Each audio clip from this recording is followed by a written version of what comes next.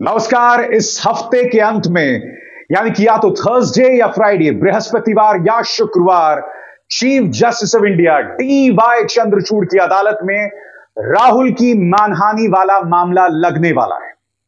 वो मामला, जिसमें सूरत और उसके बाद गुजरात हाईकोर्ट ने राहुल गांधी को अधिकतम, कठोरतम दो साल की सजा सुनाई और उसी के चलते न सिर्फ़ राहुल की सांसदी गई बल्कि उन्हें घर से बाहर भी निकाल दिया गया। राहुल गांधी, अब chief justice of India, D Y Chandrachud की अदालत के सामने पाँच बड़ी दलील लेकर सामने आए ये पाँच बड़ी दलील क्या है?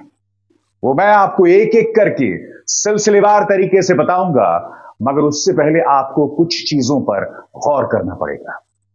कि राहुल पर निशाना साधना और राहुल को खत्म करना राजनीतिक तौर पर मोदी और अमित शाह के लिए क्यों ज़रूरी हो गया है? और क्यों लगातार यह कोशिश की जा रही है कि राहुल को धीरे धीरे खत्म किया जाए? याद कीजिए, राहुल गांधी जब भारत जोड़ो यात्रा शुरू करते हैं तो पहले दिन से ही उनके खिलाफ झूठ बोलना शुरू किया जाता है। कभी यह कहा जाता है कि उन्होंने स्वामी विवेकानंद का अपमान किया, और यह झूठ किसी और ने नहीं, स्मृति ईरानी ने किया। कभी यह कहा जाता है कि राहुल गांधी की भारत जोड़ो यात्रा में पाकिस्तान जिंदाबाद के नारे लगे, जब वो मध्य प्रदेश में प्रवेश करते हैं। कभी जिन लड़कियों के साथ या जिन महिलाओं के साथ वो चल रहे होते हैं, फ़ोटो खिंचवा रहे होते हैं, उन्हीं महिलाओं को बदनाम किया जाता है। यहाँ तक कि प्रियंका गांधी वाड्रा की बेटी को भी नहीं बख्शा जाता। यानी कि भारतीय जनता पार्टी हर कीमत में यह कोशिश कर रही होती है कि किसी तरह से राहुल गांधी की भारत जोड़ो यात्रा को बर्बाद किया जाए, बदनाम किया जाए। और ये ना भूलें, किस तरह से गोदी मीडिया ने राहुल गांधी की भारत जोड़ो यात्रा के बारे में दुष्प्रचार चलाया था। मिसाल एक एक करके आपके सामने दोस्तों क्योंकि वैसे तो राहुल गांधी की भारत जोड़ो यात्रा के बारे में प्राइम टाइम में बिल्कुल भी नहीं दिखाया गया। कल्पना कीजिए, करोड़ों घरों तक पहुँचने वाले इसी गोदी मीडिया के ज़रिए राहुल गांधी की भारत जोड़ो यात्रा पर चर्चा की जाती। नकारात्मक नहीं, उसके राजनीतिक पहलुओं पर, क्योंकि उसे बदनाम करने में गोदी मीडिया का भी हाथ था। तो एक तरह से कहा जा सकता है, दोस्तों, पहले भारत जोड़ो यात्रा पर निशाना साधना। और अब पिछले कुछ दिनों से राहुल गांधी एक और नया तजुर्बा कर रहे हैं। और वो तजुर्बा क्या है? राहुल गांधी लगातार जाकर किसानों से मुलाकात कर रहे हैं। खुद किसान उनसे मिलने उनके घर पर जा रहे हैं।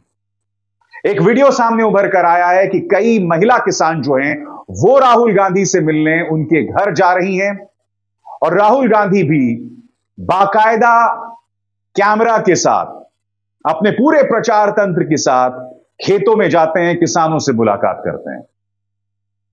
यह जो है सबसे चिंताजनक बात है मोदी और शाह के लिए। क्योंकि अगर किसान का वोट बैंक एक बार फिर कांग्रेस की तरफ़ शिफ्ट हुआ, और यह ना भूलें, साल के अंत में तीन हिंदी भाषी राज्यों में चुनाव है। राजस्थान, मध्य प्रदेश, छत्तीसगढ़, और तीनों में भारतीय जनता पार्टी को जीत मिल ही जाएगी यह कहा नहीं जा सकता। और इन तीनों राज्यों में किसानों की ज़बरदस्त मौजूदगी है। क्योंकि अगर उन तीन राज्यों में कांग्रेस भारतीय जनता पार्टी को झटका दे पाती है, ऊपर से अगर किसान जो हैं एक बार फिर कांग्रेस का रुख करते हैं, क्योंकि हम ये ना भूलें किसान आंदोलन के दौरान, मोदी सरकार ने लगातार इस किसान को बदनाम किया था, उस पर निशाना साधा था। उसे टारगेट किया था, उसे खालिस्तानी, आतंकवादी, नक्सली और न जाने क्या क्या बताया था। यहाँ तक कि सुप्रीम कोर्ट में भी कहा था कि किसान आंदोलन में खालिस्तानियों का प्रवेश हो गया है। जब पंजाब के अंदर प्रधानमंत्री नरेंद्र मोदी का विरोध किसान कर रहा था, जब वो प्रधानमंत्री से करीब एक या दो किलोमीटर दूर प्रदर्शन कर रहा था, याद कीजिए, प्रधानमंत्री एक पुल पर फंस जाते हैं, आगे नहीं बढ़ते हैं और फिर एएनआई एक खबर चलाता है कि प्रधानमंत्री ने उस वक्त के पंजाब के चीफ मिनिस्टर को संदेश पहुँचाया था कि मैं किसी तरह से बचकर आया हूँ, यानी कि एक बार फिर किसानों पर निशाना साधना। राहुल गांधी इस खास वोट बैंक पर तवज्जो दे रहे हैं। उनका मकसद है बेरोजगारों को संबोधित किया जाए।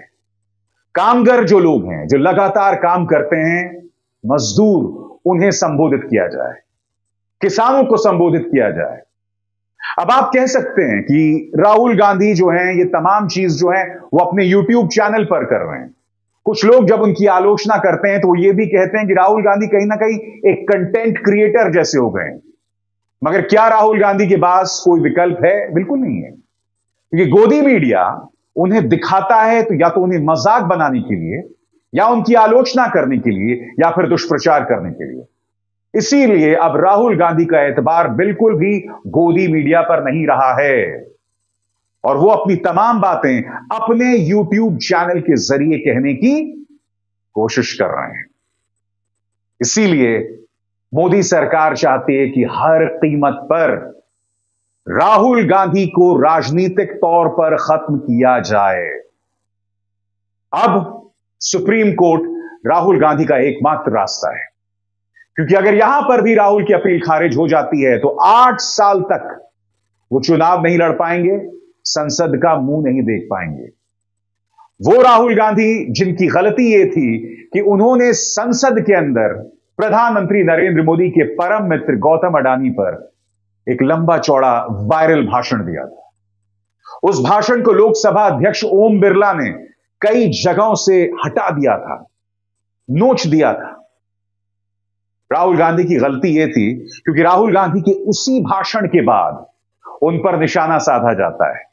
मानहानि वाला केस जो है, वो सक्रिय हो जाता है, और फिर आपके सामने मामला है।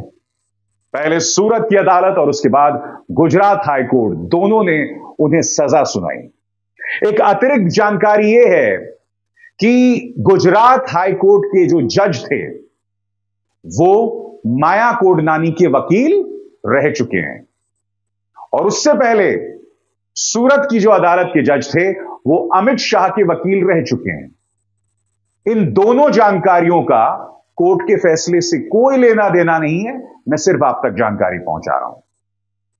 अब यह मामला पहुँचा है chief justice of India D Y Chandrachud की। अदालत में क्या राहुल गांधी को यहाँ इंसाफ मिल पाएगा? कहना मुश्किल है, क्योंकि अदालत जो फैसला करती है, ये उसके विवेक पर होता है। मगर आज राहुल गांधी ने अदालत के सामने पाँच दलीलें रखी हैं दोस्तों, और ये एक एक करके मैं आपको पढ़ने जा रहा हूँ। क्या यह दलील इतनी मज़बूत है कि राहुल गांधी को इंसाफ मिल पाएगा?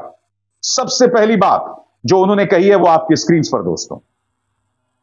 राहुल गांधी ने कहा है, मोदी एक अपरिभाषित अनाकार समूह।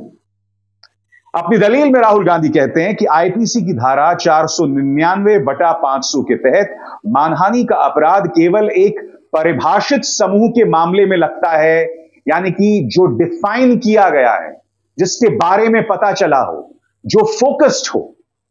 मगर ये परिभाषित नहीं है, अनाकार है।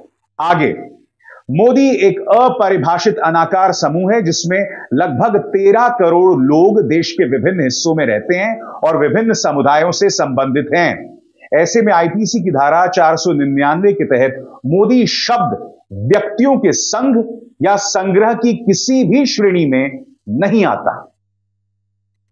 यह पहला तर्क है राहुल गांधी का, दूसरा तर्क आपके स्क्रीन पर। टिप्पणी शिकायतकर्ता के खिलाफ नहीं थी। राहुल गांधी साफ़ तौर पर कह रहे हैं शिकायत करता है पूर्णेश मोदी, जब उनके खिलाफ कुछ कहा ही नहीं मैंने तो फिर वो मामला लेकर अदालत क्यों पहुँचे? क्या कहते हैं आपके स्क्रीन पर? रैली में ललित मोदी और नीरव मोदी का ज़िक्र करने के बाद, सभी चोरों का उपनाम एक जैसा क्यों होता है? कहा गया था। यह टिप्पणी विशेष रूप से कुछ खास व्यक्तियों को संदर्भित करती है, कुछ खास व्यक्तियों के बारे में और शिकायतकर्ता पूर्णेश ईश्वर भाई मोदी को उक्त टिप्पणी से बदनाम नहीं किया जा सकता। मतलब यह टिप्पणी पूर्णेश मोदी को लेकर नहीं की गई थी, इसीलिए उनके आरोप गलत हैं। मैं आपको यह भी बताना चाहूँगा कि ललित मोदी ने भी एक ट्वीट किया था, जिसमें उन्होंने कहा था कि मैं अब राहुल गांधी को घसीटूँगा ब्रिटेन की एक अदालत में। मैं आपसे एक सवाल पूछना चाहता हूँ। क्या ललित मोदी ओबीसी से आते हैं? बिल्कुल नहीं आते हैं। वो ओबीसी समुदाय से नहीं है। राहुल गांधी ने ललित मोदी, नीरव मोदी के बारे में ज़िक्र किया था और फिर उन्हें जोड़ दिया था देश के प्रधानमंत्री नरेंद्र मोदी से। तो प्रधानमंत्री ने तो कुछ कहा नहीं। ललित मोदी शिकायत कर रहे हैं, मगर ललित मोदी का शिकायत करना बीजेपी के लिए शर्मनाक होने वाला है। क्यों? वो इसलिए होने वाला है क्योंकि ललित मोदी भागौड़ा है। ललित मोदी से भारतीय जनता पार्टी खुद को दूर रखना चाहती है और ऐसा व्यक्ति कहीं ना कहीं भाजपा के राजनीतिक हथियार के तौर पर सामने उभर कर आ रहा है।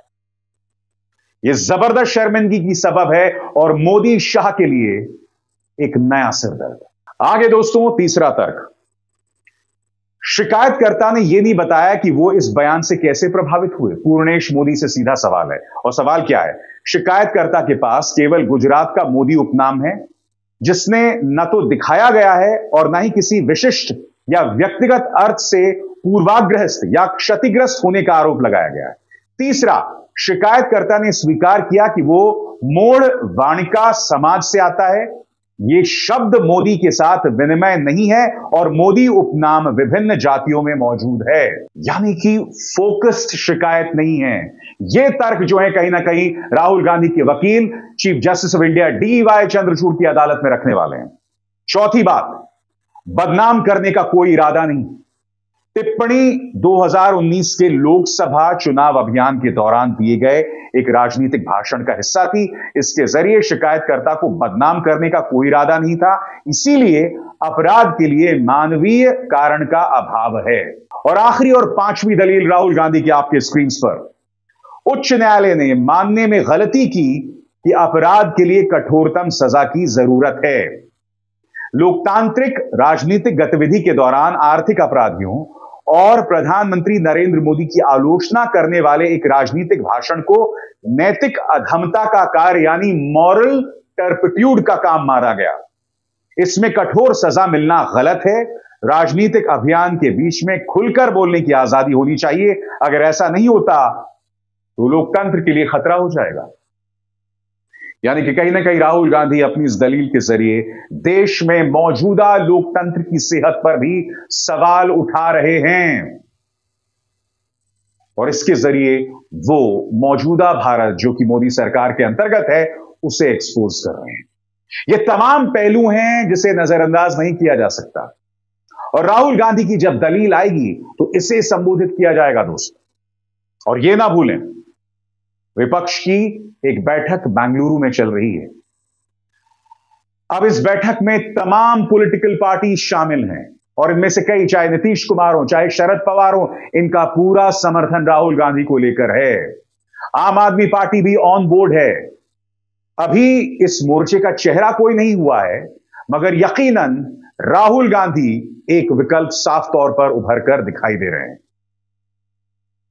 ये तमाम चीज़ें प्रधानमंत्री नरेंद्र मोदी और देश के गृह मंत्री अमित शाह के रातों की नींद को हराम कर रहे हैं। मगर हाँ, राजनीति दिलचस्प हो चली है। और यकीन मानिए दोस्तों, साल के अंत में अगर तीन विधानसभा चुनावों में कांग्रेस अपनी मौजूदगी दर्ज कर पाई तो यकीन मानिए एक उल्टी गिनती शुरू हो जाएगी। उल्टी गिनती किसकी? आप खुद समझदार हैं। अभिसार शर्मा को दीजिए इजाज़त। नमस्कार।